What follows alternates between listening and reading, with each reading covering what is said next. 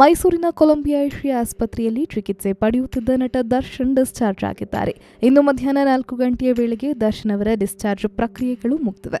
ಕಳೆದ ಸೋಮವಾರ ದರ್ಶನ್, ದೇವರಾಜ್, ಪ್ರಜ್ವಲ್ ದೇವರಾಜ್, ರಾಯ್ ಆಂಟನಿ ಕಾರಿನಲ್ಲಿ ಪ್ರಯಾಣ ಮಾಡುತ್ತಿದ್ದ ವೇಳೆ ಅಪಘಾತಕ್ಕೀಡಾಗಿತ್ತು. ಮೈಸೂರಿನ ಹೊರವಲಯದ ಹೆನಕಲ್ ಬಳಿಯ ರಿಂಗ್ ರಸ್ತೆಯಲ್ಲಿ ಬೆಳಗಿನ ಜಾವ ಮೂರು ಗಂಟೆ ಸುಮಾರಿಗೆ ಈ ಘಟನೆ ನಡೆದಿತ್ತು. ಘಟನೆಯ ಬಳಿಕ ನಾಲ್ಕು ಜನರು ಕೊಲಂಬಿಯಾ ಏಷಿಯಾ ಆಸ್ಪತ್ರೆಯಲ್ಲಿ ಚಿಕಿತ್ಸೆ ಪಡೆಯುತ್ತಿದ್ದರು ಕಳೆದ ಗುರುವಾರ ದೇವರಾಜ್ ಹಾಗೂ ಪ್ರಜ್ವಲ್ ದೇವರಾಜ್ ಡಿಸ್ಚಾರ್ಜ್ ಆಗಿದ್ದು ನಿನ್ನೆ ರಾಯ್ ಆಂಟನಿ ಡಿಸ್ಚಾರ್ಜ್ ಆಗಿದ್ರು. ಇಂದು ದರ್ಶನ್ ಗುಣಮುಖರಾಗಿ ಆಸ್ಪತ್ರೆಯಿಂದ ಹೊರಬಂದಿದ್ದಾರೆ. ಶಸ್ತ್ರಚಿಕಿತ್ಸೆಗೆ ಒಳಗಾಗಿರೋ ದರ್ಶನ್ ಅವರ ಬಲಗೈನಲ್ಲಿ ಪ್ಲೇಟ್ ಹಾಕಲಾಗಿದೆಯಂತೆ. ಹೀಗಾಗಿ ಅವರು ಹೆಚ್ಚು ಬಾರದ ವಸ್ತುಗಳನ್ನು ಕೆಲ ದಿನಗಳ ಕಾಲ ಎತ್ತುವ ಹಾಗಿಲ್ಲ ಅಂತ ವೈದ್ಯರು ಸೂಚನೆ ನೀಡಿದ್ದಾರಂತೆ. ಅಂದಹಾಗೆ ದರ್ಶನ್ ಆರೋಗ್ಯವಾಗಿ ಬರಲಿ ಅಂತ ಇಡೀ ಕನ್ನಡ ಚಿತ್ರರಂಗ ಹಾಗೂ ಅವರ ಅಭಿಮಾನಿಗಳು ಪ್ರಾರ್ಥನೆ ಮಾಡಿದ್ರು.